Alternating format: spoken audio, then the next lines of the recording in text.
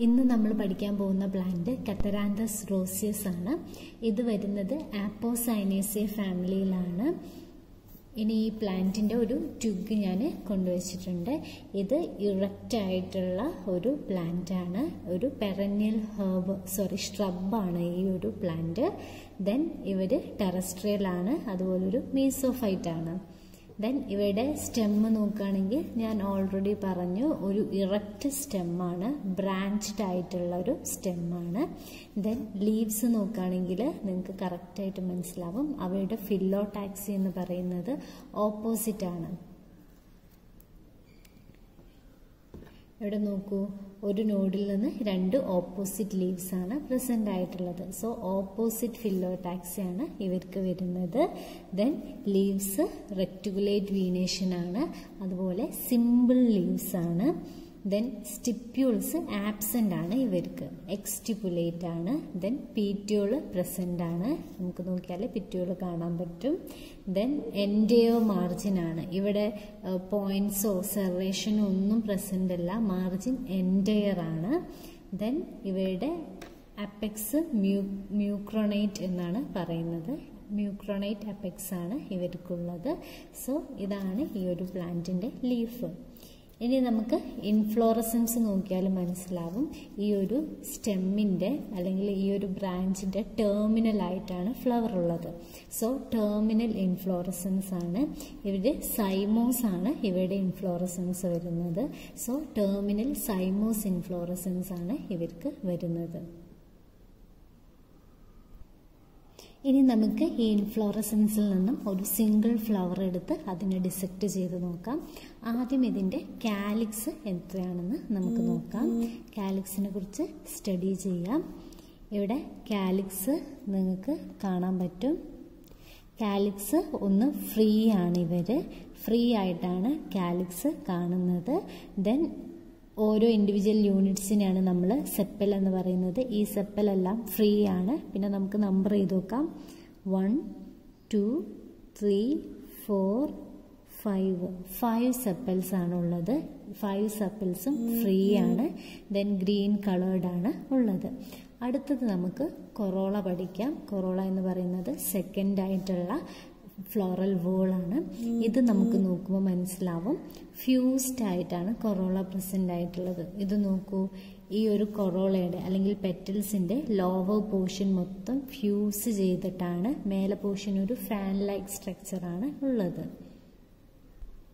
കൊറോളയുടെ individual യൂണിറ്റ്സിനെയാണ് petals എന്ന് പറയുന്നത്.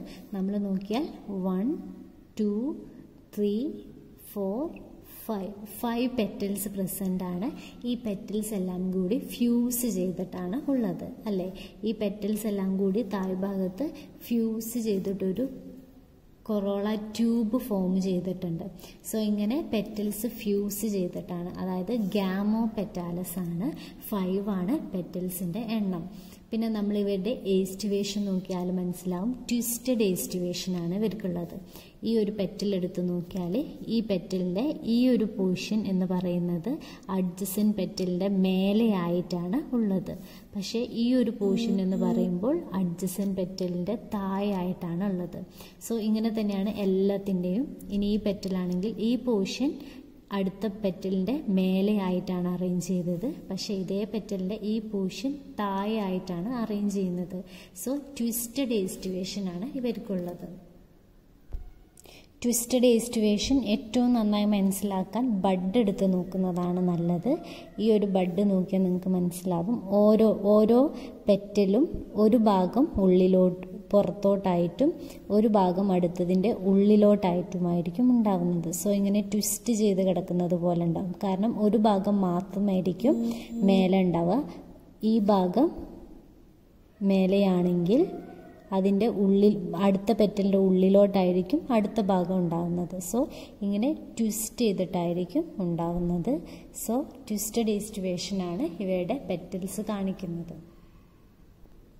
ഇനി നമുക്ക് ഇവയുടെ സ്റ്റേമിനെ കുറിച്ച് പഠിക്കാൻ വേണ്ടി ഫ്ലവറിന്റെ എൽ എസ് എടുക്കാം. ഞാനിവിടെ ഫ്ലവറിന്റെ എൽ എസ് എടുത്തിട്ടുണ്ട്. അതിന് മുന്നേ ആയിട്ട് നമുക്ക് ഈ ഫ്ലോറൽ ഡയഗ്രാം ഒന്ന് എഴുതാം. ഇതൊരു ആക്ടിനോമോർഫിക് ഫ്ലവറാണ് നിങ്ങൾക്ക് നോക്കിയാൽ മനസ്സിലാവും. ഏത് പ്ലെയിനിൽ മുറിച്ചാലും ടു ഈക്വൽ ഹാഫ്സ് ആക്കാം. ഈ പ്ലെയിനിൽ മുറിച്ചാൽ ടു ഈക്വൽ ഹാഫ് ആവും. അതുപോലെ തന്നെ ഈ പ്ലെയിനിൽ മുറിച്ചാൽ ടു ഈക്വൽ ഹാഫ്സ് ആവും. അതുപോലെ ഈ പ്ലെയിനിൽ മുറിച്ചാലും ടു ഈക്വൽ ഹാഫ്സ് ആക്കും. സോ നമ്മൾ ഹിബിസ്കസ് ഒക്കെ പോലെ തന്നെ ഇതൊരു ആക്ടിനോമോഫിക് ഫ്ലവർ ആണ്. ഇങ്ങനെ മുറിച്ചാലും ടു ഈക്വൽ ഹാഫ്സ് ആണ്.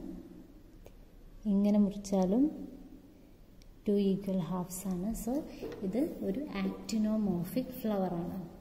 സോ നമുക്ക് ആക്ടിനോമോർഫിക് എന്ന് എഴുതാം. ദെൻ നമ്മൾ പറഞ്ഞു ഇതൊരു ബൈസെക്ഷൽ ഫ്ലവർ ആണ്. നമുക്കിതിന്റെ ഉള്ളിൽ നോക്കിയാൽ ആൻട്രീഷ്യവും ഗൈനീഷ്യവും പ്രസന്റ് ആണ്. ദെൻ കാലിക്സ് കാലിക്സ് നമ്മൾ പറഞ്ഞു ഫൈവ് ആണ്. ആൻഡ് അവർ ഫ്രീ ആയിട്ടാണ് നിൽക്കുന്നത്. പിന്നെ ഇവയുടെ ഈസ്റ്റുവേഷൻ എന്ന് പറയുന്നത് വാൾവേറ്റ് ആണ്. അവർ ഓവർലാപ്പ് ഒന്നും ചെയ്യാണ്ടാണ് നിൽക്കുന്നത്. അടുത്തത് കൊറോള കൊറോള നമ്മൾ പറഞ്ഞു ഫൈവ് ആണ്. ഫ്യൂസ് ചെയ്തിട്ടൊരു ട്യൂബ് പോലെ ഫോം ചെയ്യുന്നുണ്ട്. ദെൻ ഇവയുടെ ഈസ്റ്റുവേഷൻ എന്ന് പറയുന്നത് ട്വിസ്റ്റഡ് ആണ്. നമുക്ക് ആൻഡ്രീഷ്യം എത്രയാണെന്ന് നോക്കാം.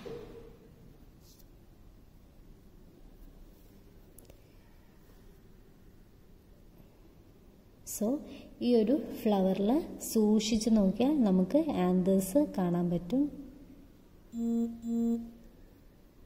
കണ്ടോ? ആന്തേഴ്സ് ഈ പെറ്റലിന്റെ മേലെയായിട്ടാണ് അറേഞ്ച് ചെയ്തിരിക്കുന്നത്. ഞാൻ ഒന്നിനെ ഡിസെക്റ്റ് ചെയ്തു.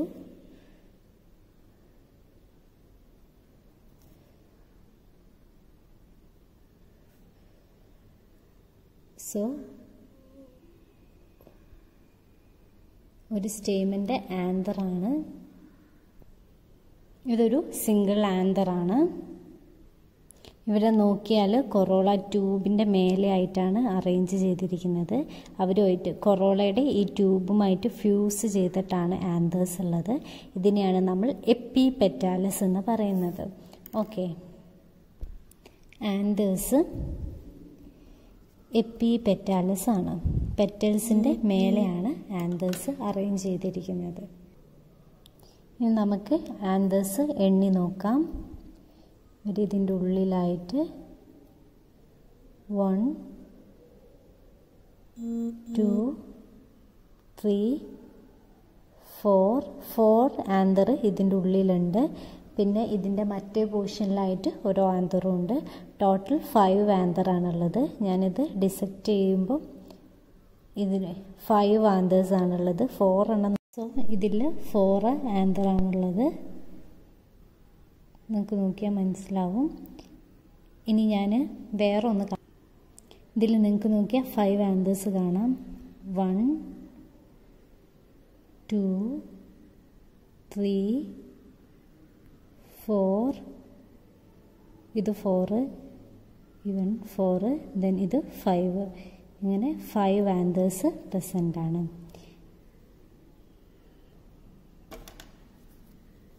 ആന്തേഴ്സ് ഫൈവ് ആണ്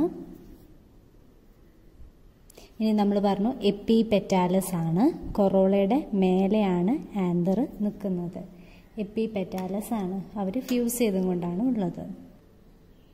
അടുത്ത നമ്മൾ പഠിക്കാൻ പോകുന്നത് ഗൈനീഷ്യമാണ്. സോ ഗൈനീഷ്യത്തിന്റെ സ്റ്റിഗ്മ നിങ്ങൾക്ക് കാണാം. ആൻഡ് സ്റ്റൈൽ ഇതാ ദെൻ ഓവർ ഇതിന്റെ താഴെയായിട്ടാണുള്ളത്. ഈ സ്റ്റിഗ്മ നോക്കിയാൽ നിങ്ങൾക്ക് മനസ്സിലാവും. ഒരു പ്രത്യേക ഒരു ഷേപ്പാണുള്ളത് ഈ സ്റ്റിഗ്മയാണ് ഡംബൽ ഷേപ്ഡ് സ്റ്റിഗ്മ എന്ന് പറയുന്നത്. ഓക്കെ ഇവയുടെ ഓവർ നോക്കിയാൽ മനസ്സിലാവും. ഓവറാണ് ഏറ്റവും മേലെയായിട്ട് പ്ലേസ് ചെയ്തിരിക്കുന്നത്. ഇവിടെ. സോ ഏറ്റവും മേലെയായിട്ട് പ്ലേസ് ചെയ്തിരിക്കുന്നത് ഓവറയാണ് അതിന്റെ താഴെയാണ് ഗൈനീഷ്യമാണെങ്കിൽ സോറി ആൻഡ്രീഷ്യമാണെങ്കിലും കൊറോള ആണെങ്കിലും ഒക്കെ പ്രസന്റ് ആയിട്ടുള്ളത്. സോ ഹൈപ്പോ ഗൈനസ് ആണ് ഓവറി ജി ഹൈപ്പോഗൈനസ് ആണ് സുപ്പീരിയർ ഓവറിയാണ് നമുക്ക് ഓവറിയുടെ സെക്ഷൻ എടുത്തു നോക്കാം. ഓവറിയുടെ സെക്ഷൻ എടുത്തു വളരെ മൈന്യൂട്ടാണ് ഇത് നമ്മൾ മൈക്രോസ്കോപ്പിലൂടെ വെച്ച് നോക്കിയാൽ മനസ്സിലാവും. രണ്ട് കാർപ്പൽസ് ആണ് പ്രസന്റ് ആയിട്ടുള്ളത്. സോ ഓവറി ടു ആണ്. നമുക്ക് രണ്ടായിട്ട് തന്നെ മനസ്സിലാവും അവർ ഫ്യൂസ് ഒന്നും ചെയ്യാതെയാണ് ഉള്ളത്. ഇത്രയ്ക്കുമാണ് ഈ ഒരു പ്ലാന്റിന്റെ ക്യാരക്ടേഴ്സ് പറയാനുള്ളത്.